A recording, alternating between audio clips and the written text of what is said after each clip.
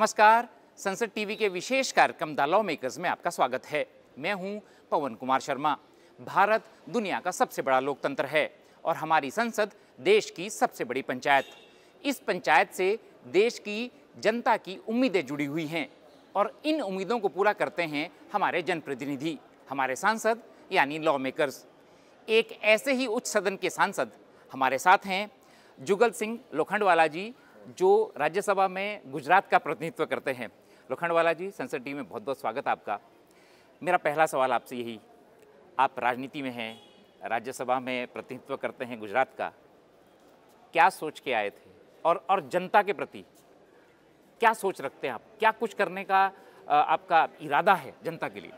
देखिए, कुछ सोच के तो नहीं, पर इतना ज़रूर था कि ज़्यादा से ज़्यादा जनता का कुछ न कुछ काम हम लोग कर सके, जिससे जनता के लिए जो इस देश के अंदर जिस तरह पहले की जो सरकारें जो काम कर रही थी और आज की जो सरकार जो काम कर रही है, उसको विज़न के तौर पे आज विकास की ओर जाना था और विकास के साथ जनता को जोड़ना था, वो सोच के आए थे हम लोग।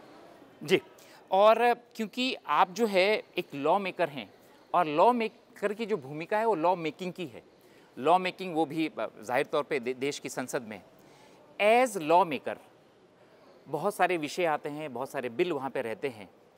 आपकी भूमिका क्या रहती है? आप, क्योंकि बहुत सारे बिल हैं, कुछ बड़े बिल हैं जिनके ऊपर आपने भी चर्चा में भाग लिया है। ऐसे कौन से बड़े बिल जिसमें आपने सहभागिता की और इस विधायी जो हमारा कामकाज है, उसमें आपका योगदान रहा? ऐसे कौन कौन से बड़े बिल आपको ध्यान आते हैं जिन पे आपने चर्चा में हिस्सा लिया और आपने भी जनता की जो आकांक्षाएँ थी उनको पूरा करने की कोशिश की। देखिए, मैं गुजरात से आता हूँ और गुजरात के अंदर हमारा, आप देखेंगे कि उसका भौगोलिक जो है कि समुद्र भी हमारे वहाँ पे है, पहाड़ी इलाका भी है रन का विस्तार भी है और पानी कम रहता है। वहाँ पे उस तरह का एक भौगोलिक परिस्थिति है। और उसको जहन में रखते हुए मैंने काफ़ी सारे जनता के लिए, हमारे गुजरात के लिए और पूरे देश के लिए समुद्र के आसपास का डेवलपिंग और समुद्र के मार्ग से व्यापार कैसे हो और कैसे ज़्यादा से ज़्यादा लोग उससे फ़ायदा उठाए, उस तरह का एक, जो था उस सदन के अंदर उसमें मैंने हिस्सा लिया था और काफ़ी सारा उसके अंदर मुझे अच्छा भी लगा था क्योंकि मैं उन जनता की आवाज़ उठा पाया था। दूसरा जो था जैसे मैंने बताया कि एक रेलवे के बारे में, रेलवे का काफ़ी सारा वहाँ पे पोटेंशियल माननीय प्रधानमंत्री नरेंद्र मोदी जी की जो सोच है, उसको बढ़ावा देते हुए जिस तरह रेलवे के अंदर क्या हम लोग ज़्यादा से ज़्यादा, क्योंकि सबसे ज़्यादा आज हमारी जो आबादी है, सबसे ज़्यादा मुसाफरी रेलवे के अंदर करती है। तो उसका फ़ायदा ज़्यादा से ज़्यादा सब लोगों को मिले। वो उस चर्चा में भी मैंने भाग लिया था।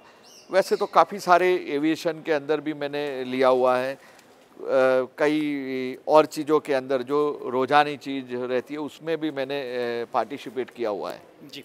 आ, एक सांसद के तौर पे लोखंडवाला जी आपको प्रश्नकाल के दौरान शून्यकाल के दौरान और तीन सौ नियम तीन सौ सत्तर के अंतर्गत मामले रखने का मौका मिलता है और आपने बहुत सारे मुद्दे रखे भी हैं। ऐसे कौन से बड़े सवाल मुद्दे आपने रखे और उसका फ़ायदा जो है वो देश की जनता को, गुजरात की जनता को हो गया? देखिए, वो काफ़ी सारे बहुत सारे हम लोग ज़ीरो आवर स्पेशल मेंशन में मेंशन करते हैं। उसके अंदर हमारी जो था कि जो दूध से बनी हुई मिलावट की चीज़ें जो है, उसके बारे में मैंने एक क्वेश्चन खड़ा किया था और उसके तहत काफ़ी सारे वहाँ पे एक्शन भी गवर्नमेंट ने लिया और उसके हमको रिज़ल्ट भी मिला था। दूसरा हमारा एक था कि रेलवे के बारे में कि वहाँ पे एक जो रेलवे जो थी जो हमारे मैसाना से लग के जो हमारा माउंट आबू तक जो जाती थी तो उस रेलवे के रिगार्डिंग हम लोग काफ़ी बार उनको कह चुके थे। प्रधानमंत्री जी की भी एक इच्छा थी कि वो रेलवे बने, जो रेलवे अहमदाबाद महसाना, बदनगर बदनगर होकर से अंबाजी टेंपल हमारा जो है वहाँ चल जाए। उसके बाद आगे आबू रोड तक मतलब एक पूरा लोगों को सुविधाएँ मिले, स्पिरिचुअल के लिए भी मिले, लोगों को वहाँ पे आध्यात्मिक के लिए भी, दर्शन वगैरह भी अंबाजी टेंपल में जा सके। उस तरह का वो एक था और वो एक अच्छी तरह वो आज की तारीख में वो प्रोसेसिंग में है वो प्रोजेक्ट जी। लोखंडवाला जी ज़ाहिर तौर पे अगर राजनीति है तो जनसेवा है और आप बहुत सारी चीज़ें जो करते रहते हैं अपने क्षेत्र में और राज्यसभा सांसद होने के नाते तो पूरा गुजरात आपका कार्य क्षेत्र है, वहाँ पे आप काम करते रहते हैं। ऐसे कुछ इनिशिएटिव आपकी तरफ़ से पहल जो जनता के लिए, चाहे वो शिक्षा का मामला हो, चाहे वो मेडिकल का मामला हो उस दिशा में आप कर रहे हैं और वो जो गुजरात की जनता है उनको वो फ़ायदा मिल रहा है सीधा उसका। ऐसी कुछ पहल आपकी तरफ़ से? देखिए, मैं हाल ही में बात करूँगा कि चिकित्सा के अंदर शायद ही मैं ऐसा एक मेंबर ऑफ़ पार्लियामेंट हूँ कि जिसने, मैंने 81 मतलब 81 बार ब्लड डोनेट किया है। और दूसरा जो है कि मेरे क्षेत्र के में, अंदर हाल ही में, थोड़े दिन पहले ही मेरे, जहाँ मैं रहता हूँ, वो महसाना ज़िला है। वो महसाना ज़िला के अंदर मैंने 26 जितनी एंबुलेंस वगैरह हाल ही में दी है। मतलब पूरे वहाँ पे पीएचसी सेंटर जितने भी है, उसके अंदर सबको अंदर मैंने एंबुलेंस दी है। मेरे क्षेत्र में तो दी है, पास अगल बगल में भी कि हमारा पाटन जिला जो आता है, उसके अंदर भी मैंने एक आठ आठ से ग्यारह जितनी दी है। पास में दूसरे बगल में भी गांधीनगर आता है, उसमें भी एट जितनी, आठ जितनी मैंने एंबुलेंस वहाँ दी है। तो मुझे अच्छा लगता है कि चिकित्सा के, क्योंकि आम आदमी, क्योंकि पीएचसी सेंटर जो रहते हैं, गाँव के अंदर ज़्यादा, और गाँव के लोगों को वो प्रभावित करता है। तो वो मैंने वो दी है। तो मुझे अच्छा लगा है कि वे चिकित्सा में हम कुछ कर सकते हैं। और मेरा जो गोल रहता है, वो मैं पढ़ाई, शिक्षा के और उसमें भी बच्चियाँ जो क्योंकि मैं जो इस समुदाय से आता हूँ, वो समुदाय के अंदर हमारी लड़कियों को कम पढ़ाते हैं। हाल ही में तो अब तो बहुत अच्छा प्रोग्रेस हुआ है, लड़के, लड़कियाँ सब पढ़ते हैं, पर पहले कम पढ़ाते थे। तो उसके अंदर मैं ज़्यादा तजर्बू देता हूँ, स्कूल, कॉलेज के अंदर भी जितना हो सके। मेरी और पर्सनल डोनेशन भी मैं करता हूँ। तो ज़्यादा से ज़्यादा हमारी शिक्षा ले वो मैं चाहता हूँ। जी। लोखंड वाला जी बहुत सारी समस्याएँ बहुत सारी ऐसी चीज़ें हैं आप, आप आपके क्षेत्र में भी जो सॉल्व हो गई बहुत सारी चीज़ें बची हुई हैं। ऐसे ही देश के मुद्दे हैं कुछ सॉल्व हो गए और कुछ सॉल्व होने चाहिए। आपको क्या लगता है कि देश के बड़े मुद्दे क्या है? देश की जो उच्च सदन है खासकर राज्यसभा जो है वहाँ पे कौन से मुद्दों पे डिस्कशन होनी चाहिए? क्योंकि कई बार शोर शराबा और जो व्यवधान है वो तो हमें दिखता है पर उच्च सदन है देश का।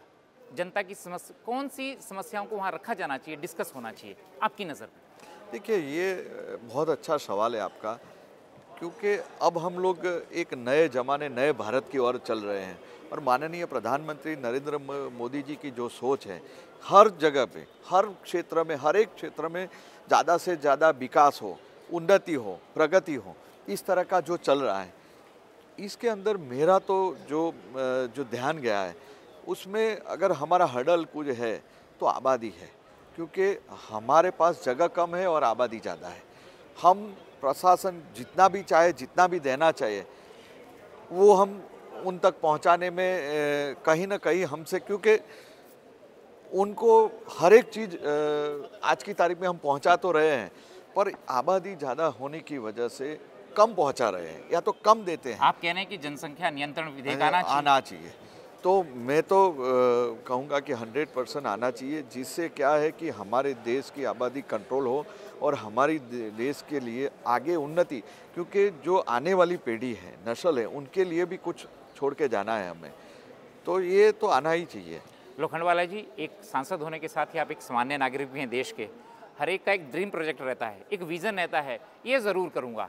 ये बचा हुआ है और ये ज़रूर करूँगा। जुगल सिंह लोखंडवाला जी का क्या विज़न है? क्या ड्रीम प्रोजेक्ट है? ये करूँगा, ज़रूर करूँगा, ये रह गया है, करना है। देखिए, मैं, मेरे, मैं महसाने से आता हूँ और मेरा ड्रीम प्रोजेक्ट वो है कि नॉर्थ गुजरात में वैसे महसाना या तो महसाने के आसपास एयरपोर्ट बनाने का मेरा एक ड्रीम है कि वहाँ पे, क्योंकि हमारे जो उत्तरी, जो हमारा है, उस साइड काफ़ी सारी इंडस्ट्रीज़ है काफ़ी सारे लोग फॉरेंस में रहते हैं और काफ़ी सारे डेवलपिंग भी है। तो वहाँ पे अगर एयरपोर्ट बने, क्योंकि स्पिरिचुअल भी आ जाता है इर्द गिर्द में है, काफ़ी सारे देखने की चीज़ें जो है, वो टूरिज़्म के लिए भी बहुत अच्छी चीज़ है। तो वो मेरा एक ड्रीम प्रोजेक्ट है कि कभी ना कभी मुझे मौका मिला। मैं वैसे हाल ही में तो प्रयास करता रहता हूँ, क्योंकि मैं कई जो कमिटी के अंदर, हमारे एविएशन की कमिटी रहती है तो उसके अंदर भी क्वेश्चन उठाता रहता हूँ कि भाई हमारे यहाँ पे एयरपोर्ट बने तो वो एयरपोर्ट बनाने का मेरा एक ड्रीम प्रोजेक्ट है। जी तो राज्यसभा सांसद जुगल सिंह लोखंडवाला जी आश्वस्त कर रहे हैं महसाणा की जनता को, गुजरात की जनता को कि महसाणा में भी एयरपोर्ट बनेगा। गुजरात जिस जिस तर्ज पर आगे बढ़ रहा है, सारी जो तमाम आधुनिक सुविधाएँ पूरे गुजरात में है, वो महसाणा में भी होंगी, ऐसा आश्वस्त कर रहे हैं। जुगल सिंह लोखांडावाला जी, आपने राज्यसभा हमारे संसद टीवी के लिए एक राज्यसभा सांसद होने के नाते आपने हमारे लिए समय निकाला। आपका बहुत बहुत धन्यवाद। नहीं नहीं, आपका बहुत बहुत धन्यवाद और संसद के सभी आपके प्रेक्षकों और सभी को मेरा मेरी ओर से प्रणाम और बहुत ही अच्छा कार्यक्रम में बनाते हैं। ज़रूर से देखिएगा। धन्यवाद।